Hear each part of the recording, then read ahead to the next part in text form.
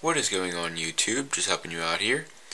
And for today's video, I'll be doing Chapter 24, Problem 2 in the Fundamentals of Physics textbook, 8th edition by Jearl Walker, Halliday, and Resnick.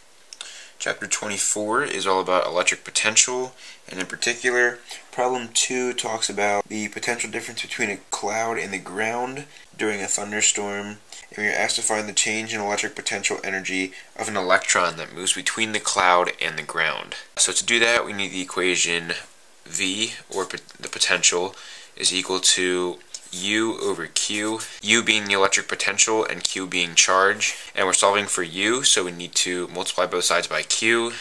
So U equals QV.